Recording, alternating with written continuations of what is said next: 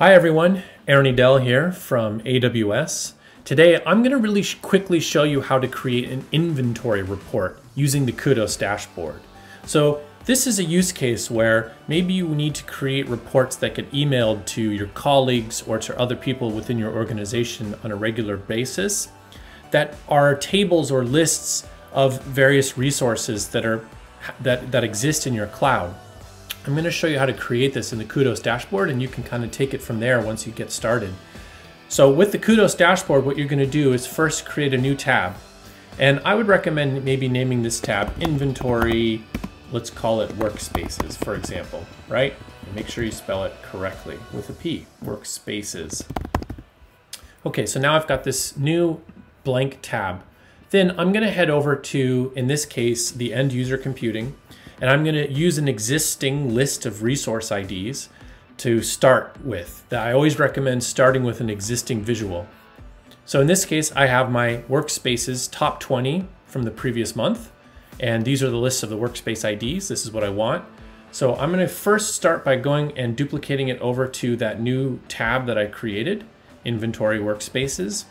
And instead of just showing me the top 20, I'm going to go in and change the filter and remove it.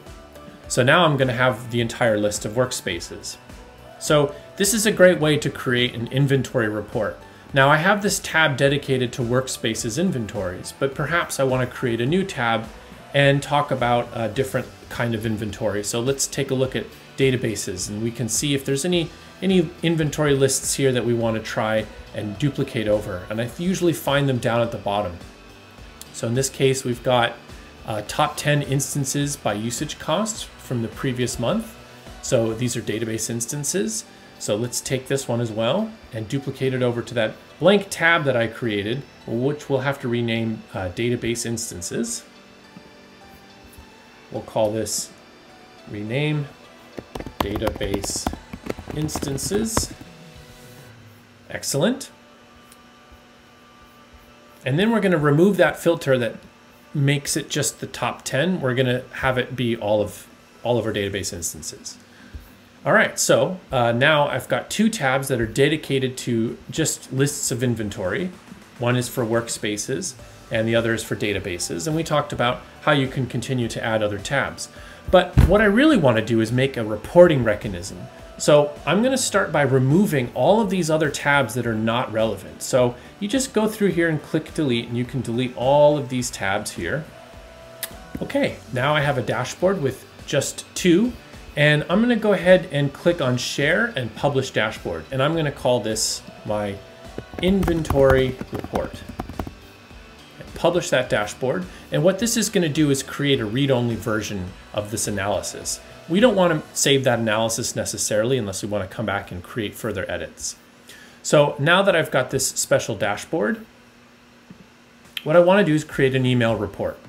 So I'm going to go in here and say, uh, I want to say that this is the daily inventory report. And I'm going to come up here and make sure that I remember to um, have this send out once a day because I want it daily.